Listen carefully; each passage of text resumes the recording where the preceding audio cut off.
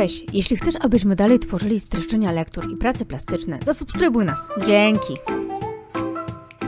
W tym odcinku pokażę Ci, jak zrobić kartkę z wakacji.